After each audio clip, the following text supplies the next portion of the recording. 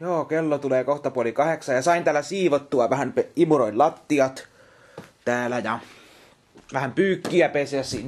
Sain pyykit pestyä ja täällä vähän tiskejä oli jonkun verran, niin tiskasin kaikki ja imuroittin nääkin, tän keittiönkin tästä lattiat. Tuli imuroitua tässä ja tullasta.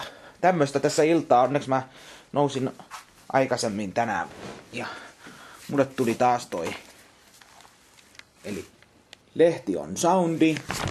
Ja tässä on nämä hauskat jutut. Eli tällaista. Siinä on joulupukki.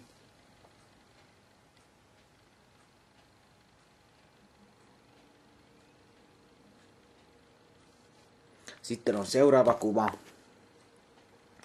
Maailman huonoin joulukuva.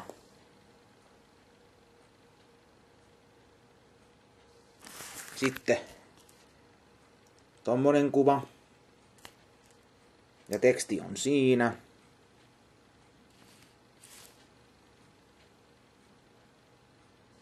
Sitten on seuraava kuva. Ja siinä ei ole tekstiä ollenkaan. Tosi isot raketit siinä on vaan, tommonen kuva. Joo, semmoset kuvat oli siinä ja ei siitä sen enempää sitten. Tässä ilta jatkuu ja justiin tossa kattelin taas, taas kattelin tästä yhden jakson taas tästä. Se joulukalenterista, eli 5 kautta 5 tälle ehdottomasti.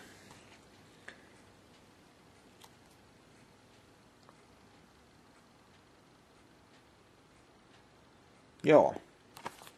5 kautta 5 tälle. Ehdottomasti paras joulukalenteri, mitä on ikinä tehty. Joo, näihin keskiviikon illan tunnelmiin täältä tähän.